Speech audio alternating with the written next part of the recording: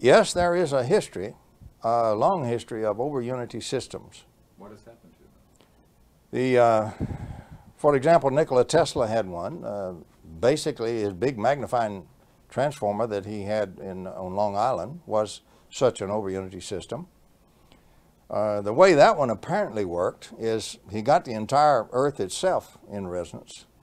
The crust of the Earth, as you go down in there, is made of highly nonlinear materials, particularly when you get down to the perovskite or whatever you call that stuff. And it will act in, in the bulk even, it will interact in a sort of a nonlinear optics fashion. It will do phase conjugation. And so eventually what it, what it does is everything going on is feeding energy into the earth starts to feed energy into that wave that he created. So he gets a lot more energy in his resonant wave fed from outside, from the environment in the interior of the earth. And that's the way he built up a, a humongous wave of energy. His idea was you could then put in a, a tap on it anywhere else on the world and extract it free.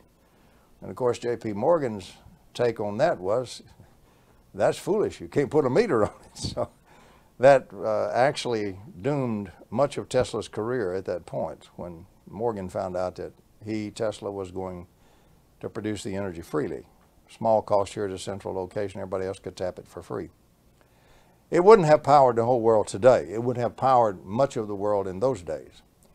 Tesla also, we're pretty sure, put uh, a system in a car and ran a car on it. And the reason we're uh, pretty sure is his nephew who rode in the car with him is still alive and can describe the incident and how the engine had no gas, no input of power, and would still run once Tesla got it started.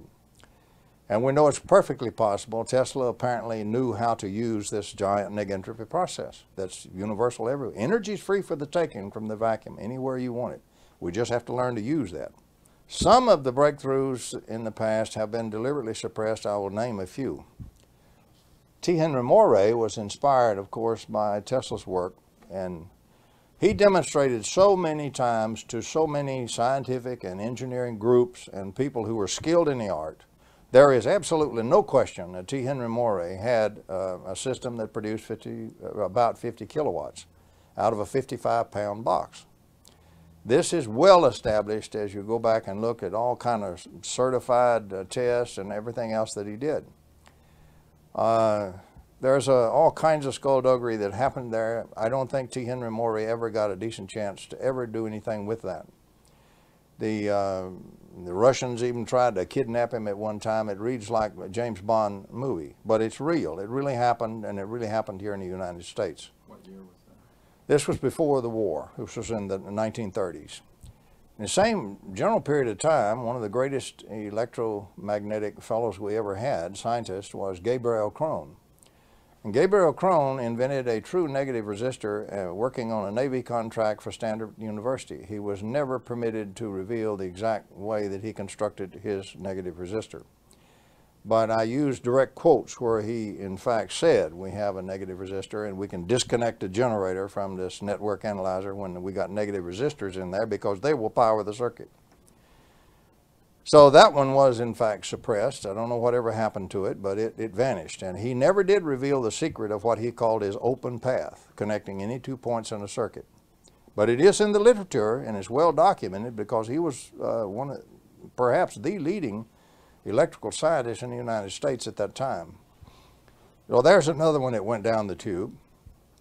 Uh, various and sundry people have made casual ones from time to time over the years. I'd estimate probably 50 different inventors have made casually invented something. Even if they didn't understand it, they did get it to go over Unity. We're never able to get anything done with it. Uh, most of the time, they uh, incurred a lot of enmity from the scientific community. Um, sometimes were really hounded. And sometimes we're just very naive, sometimes very naive. Probably the best documented scientifically uh, over unity systems, self-running, self-powering systems, were developed by the Russians before World War II. It's in the French scientific literature, and it's also in the Russian scientific literature. The papers are there. I quote them in, in many of the things that I published. And you can go check the papers, the theory is there. Uh, many papers are published on this in the Russian scientific literature. They built what we call parametric oscillators. They have an oscillator going and they change in the middle, they switch the actual inductance or capacitance or both of the thing so that it becomes a self-oscillation device. And they reached, uh, you know, goodly power for that, those days, 50 and 100 kilowatt devices. There are many ways of looking at uh, the suppression that's occurred in this area, and certainly I do not wish to talk about it myself, but I've been a victim of quite a bit of suppression. So has any other legitimate researcher in this area.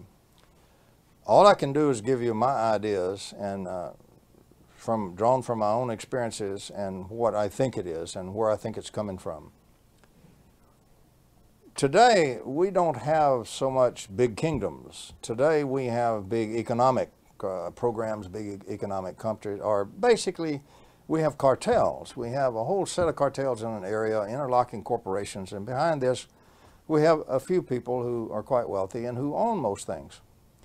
Now, the normal nature of the beast for very powerful empires, let's call that an empire, it's a corporate empire, a set of corporations empire, is basically a cartel. Historically, as far back as you want to go, we have had cartels. Any time we have a very powerful cartel or set of people that control a lot of things, that resists any means of changing its inflow of control and its inflow of funds and money and its power. You know, everybody's trying to be the big monkey. It's really as simple as that. And so the more powerful the agency, the more powerful the group, the more powerful the cartel, the more they will resort not only to legal means, but to extra legal means to suppress their competition. Uh, you know, this is an openly known today. For example, the greatest uh, espionage in the world is industrial espionage between one corporation and another right here in America. They're the ones that hire all the spies and the spooky equipment and everything like that by far more than the intel agents do. So that's one thing we have. We have the giant industrial or really cartel, economic cartels in, in, in energy. And it's not one cartel. There are many, many groups in energy. And each of those has become very powerful in its own area. And each one does not wish to see uh, simple little electrical taps pulling out enormous energy from the vacuum. They would much rather see uh, you burning a lot more oil and so forth. So yes, there's a, in my view, there is a very active uh, suppression effort by those kinds of folks. Part of that goes into very unique areas. They don't do it so, more, so much, it's not totally mafia type stuff. It's not like, you know, you just flat get shot. There's some of that. But one of the main ways of suppressing it is they take a deep psychological profile of an individual that they wish to suppress. What, what it means is they really wish to get him entangled in all kinds of difficulties he can't get out of. Now, a good trait from a human being standpoint may be uh, a very valuable trait to somebody who wishes to manipulate you. For example, suppose you're easy to approach. That's a vulnerability. That's a serious vulnerability. So one's deep psychological profile is examined in great depth by real experts. And any way that you can be gotten to where you're naive, you don't have, na who knows international finance? You can be had on a, on a uh, money laundering scheme easily and not even recognize that's what you're in. Uh, so any way that you do not have good knowledge or you do not have ability or you have a vulnerability, they call them vulnerabilities, then they arrange scenarios just like you would write a movie. Uh, in fact, they do it with computers, all computerized. And in this scenario, we have we write a play where this particular vulnerability is going to be exploited in the target. Now they keep deep psychological profiles on lots of useful fellows. Uh, these are people who basically have knee-jerk reactions or something, or they're radical, or they have some kind of way they interact which if could be connected with you would be in the area we wish the interaction to occur to get you off into something else totally different what you're doing. So the next thing you know here, all it takes to set that up may be a phone call and stimulate the interaction to occur. And then the controllers sit back and watch the game go. It's gaming. But it's just like right, watching a movie scenario. Uh, one of these days we'll probably write a book on gaming and how it's done and, and uh, what kind of the main games they can use. But I can tell you they're very effective. Um, you can get so many different games from so many different walks of life by so many charming folks who are really oily characters that you would not believe it. And those come at you in mass. And usually they bury you. They bury you off in the courts. They bury you off. They get you tricked into doing an illegal act. How would they do that if you, if you wouldn't violate the law? Real simple. How can you be made to violate the law when you're not a criminal? Simple. Let me give you a for instance. Fellow comes in and he says, you know, we really need to get some real major financing. Every inventor's poor. Everybody's struggling. Nobody's got the money to build all these buildups, which may cost ten, fifteen thousand dollars, twenty thousand a piece. So everybody's struggling for money. So he comes in and we're going to raise this. We're going to form a stock company. We're going to do all these good things. Unbeknownst to you, he goes off to the Securities Exchange uh, Commission and several other people, Treasury Department, and he says, hey, I think I have fallen in with a den of thieves. Of course, he's the CEO now, understand? Because he's the guy who knows all this stuff. And I'll tell you what I'll do. If, uh, if you'll give me immunity to prosecution, I'll help you catch these crooks because they're going to do the greatest money laundering thing you ever heard of. It's going to come right out of one of these foreign countries, going to be scrubbed and come in here to fund this effort. It's going to be laundered dope money or something like that. You have no knowledge this is happening. And they give him, they jump at the chance, they'll give him the uh, immunity to prosecution. That's their normal modus operandi. They want to catch some crooks, and this guy's going to help them catch some crooks. So then he goes off and sets all this up and keeps you deluded about what's happening.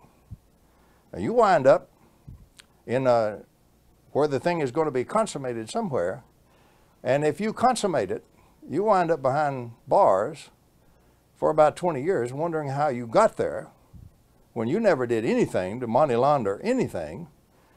He's the fellow who did it and who set it up, and he testifies against you because he's immune to prosecution. This is one of the standard games. Machiavelli is not dead, he still lives. And these are the games that are played, and it's particularly played in the, the systems where people are trying to build over unity systems. It's been very effective in stopping some of them.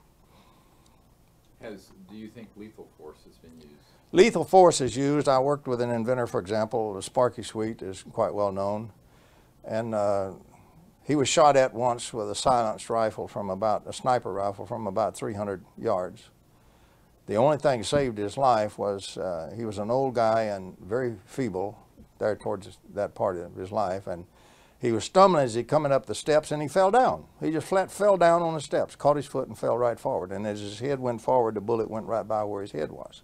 And of course, the assassin was never found. So there are many cases like that. Some are killed. I believe uh, Marinov, I believe to be a kill. I don't believe Marinov jumped off a building when he was excited on the way to, to uh, talk about his invention and so forth. Gave no indications of it. If I can believe the reports of the people who visited where his body lay, uh, where his body lay on the pavement glowed.